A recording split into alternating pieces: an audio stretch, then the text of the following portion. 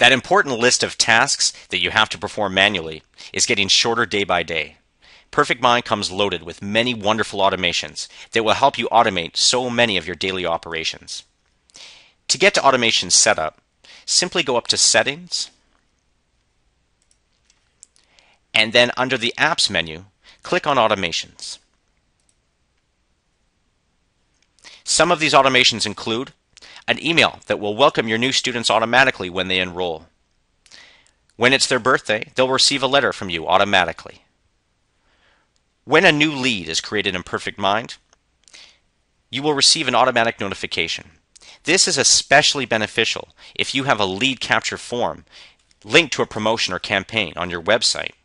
When a prospect submits their information through the form, not only will, will their information be automatically updated in PerfectMIND, but you will receive an automatic notification that your website has generated you a new lead. Some of the other automations include notification to your members when their credit card has expired.